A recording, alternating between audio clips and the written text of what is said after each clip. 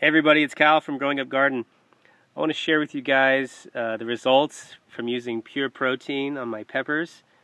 And uh, I have to say that actually looks they look a lot better than they did last week. The leaves, I mean, as you can see, are starting to open up.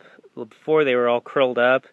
Um, some have a little bit of curl still on them, but other than that, they look pretty good. They've grown quite a bit too. So I could show you guys the results. Um, how much they grew in a week.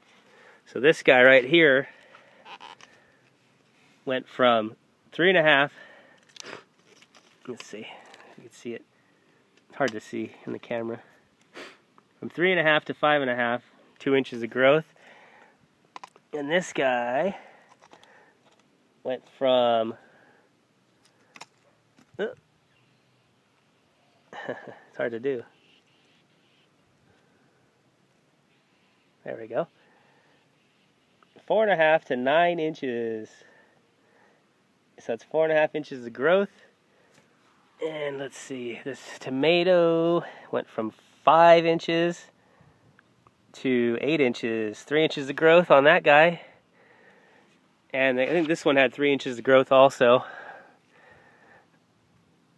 So, yeah, from five and a half to eight and a half. And then this one right here, we'll see, I'll show you guys that one.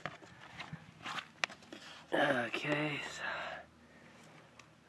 four and a half, from four and a half inches to nine inches. Four and a half inches of growth. And then this little guy went from three and a half to five inches. So that's pretty good, inch and a half growth. So I think it works.